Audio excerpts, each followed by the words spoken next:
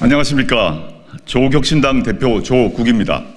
저는 오늘 조국혁신당이 그리는 대한민국의 미래에 대해 말씀드리려고 합니다. 그 미래를 현실로 만들기 위해 무엇이 필요한지 국민 여러분께 보고 드리려고 합니다. 조국혁신당은 22대 국회에서 국민이 더 행복한 사회권 선진국을 만들기 위해 행동하겠습니다. 새로운 법이 필요하면 만들겠습니다. 기존 법률 개정이 필요하면 바꾸겠습니다. 헌법 개정이 필요하면 개헌을 위해 적극 나서겠습니다. 제7공화국 건설에 온 힘을 쏟겠습니다. 조국혁신당은 3년은 너무 길다. 윤석열 검찰 독재 정권 조기 종식이라는 민심을 대변하고 있습니다.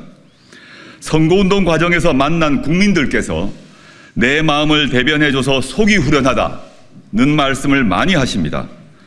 어떤 국민들은 그 이후를 궁금해 하십니다.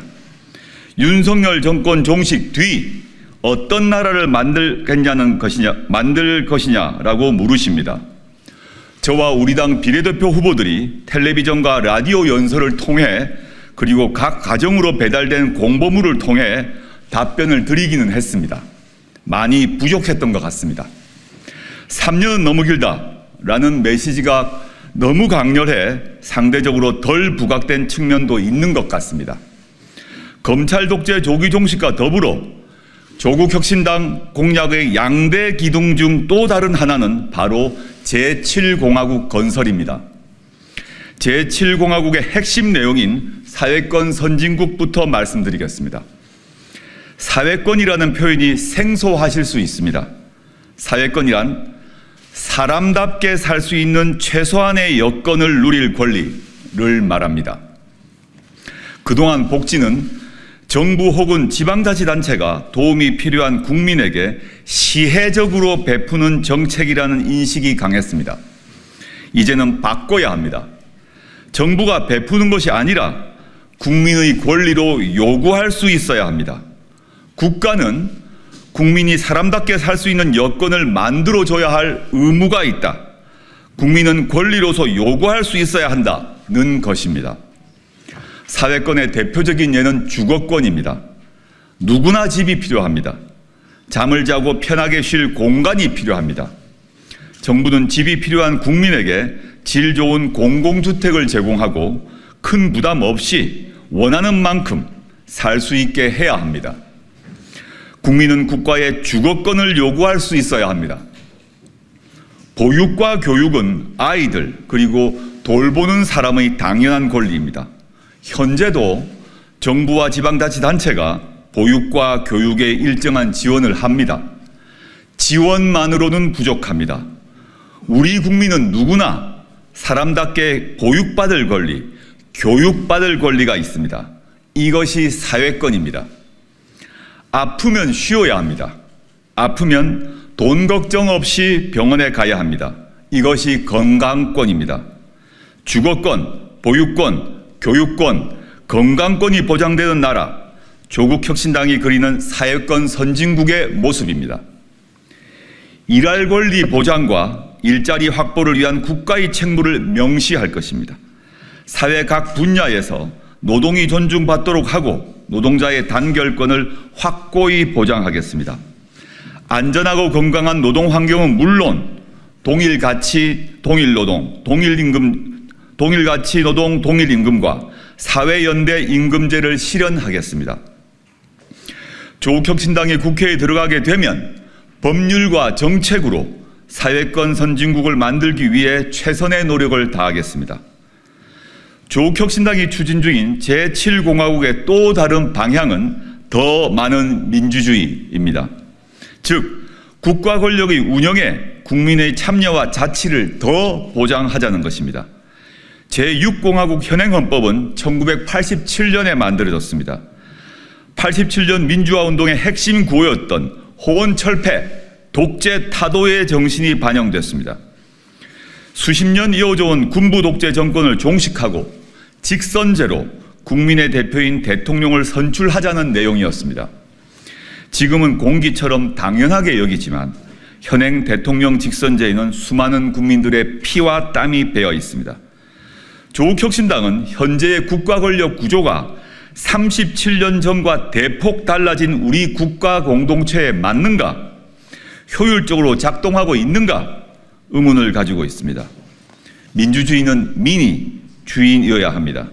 그런데 현재는 국민에게서 권력을 위임받은 정치인들이 주인처럼 행동합니다. 심할 경우에는 왕처럼 군림하려 합니다.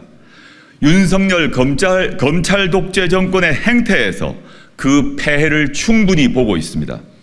검찰, 국가정보원, 감사원, 경찰, 기획재정부 등 국가의 권력 기구는 선출된 권력이 아니라 국민을 위해 일하도록 만들어야 합니다.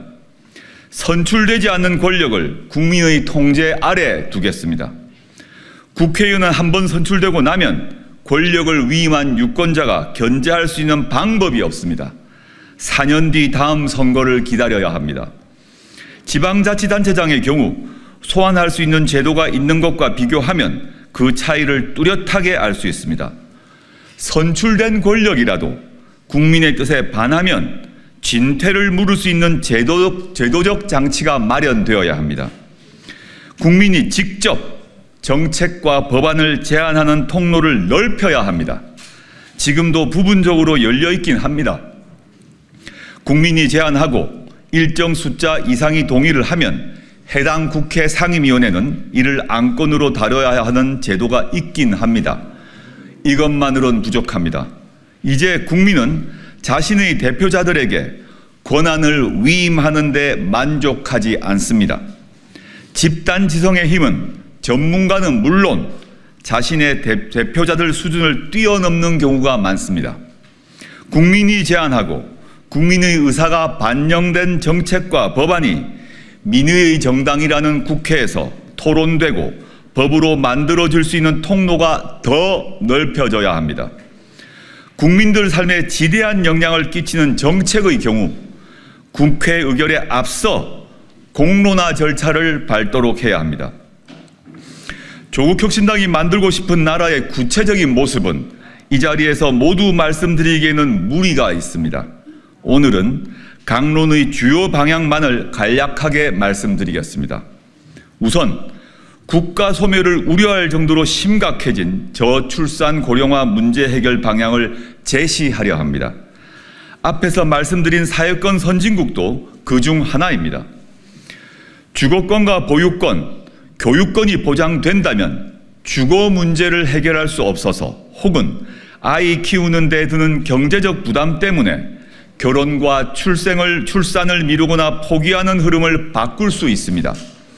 제7공화국은 육아 친화 공화국입니다. 둘째, 지역 소멸 위기를 극복하기 위해 자치 입법권, 자치 행정권, 자치 재정권이 있는 지방정부 수립 방안을 마련하겠습니다.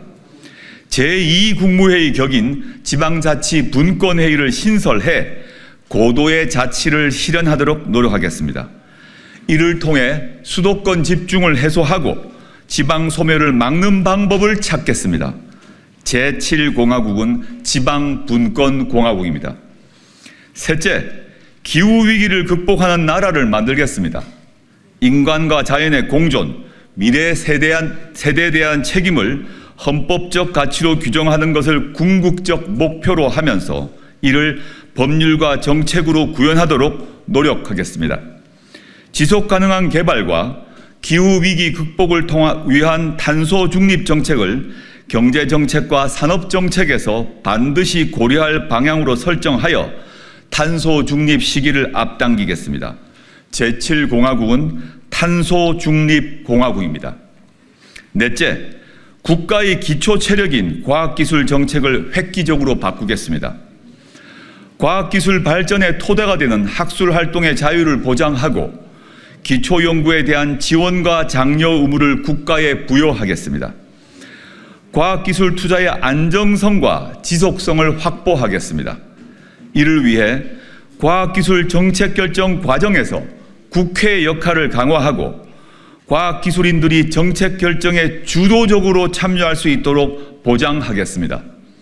제7공화국은 과학기술공화국입니다. 다섯째, 한반도 평화공존 체제를 확립하고 대한민국의 외교 운동장을 넓게 쓰겠습니다.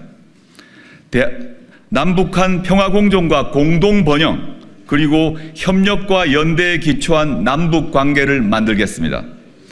한반도 비핵화 목표를 분명히 하고 항구적 평화공존 체제를 모색하겠습니다. 가치와 이념 외교가 아니라 국익 중심의 외교를 펼치겠습니다. 제7공화국은 평화공존공화국입니다. 조국혁신당은 앞에 말씀드린 내용을 이정표 삼아 의정활동을 펼치겠습니다. 하지만 조국혁신당의 힘만으로는 아무것도 이루지 못할 것입니다. 1987년 민주화 운동의 성과를 이어받은 개헌, 그리고 2016년 촛불혁명 등에서 보여준 위대한 국민의 힘이 뒷받침된다면 못할 것이 없습니다. 조국혁신당은 우선 4월 10일 총선에서 조국혁신당 자력으로 법안 발의가 가능한 의석을 확보하겠습니다.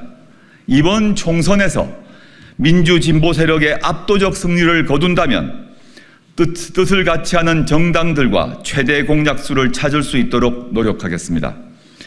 22대 국회에서 개헌에 대한 공감대가 형성된다면 조국혁신당도 앞에 말씀드린 내용을 기초로 개헌 논의에 적극 참여하겠습니다. 비록 작은 정당이지만 개헌 논의의 예인선이 되겠습니다. 국민이 더 행복한 사회권 선진국을 만들 수 있도록 노력하겠습니다. 조국 혁신당은 합니다.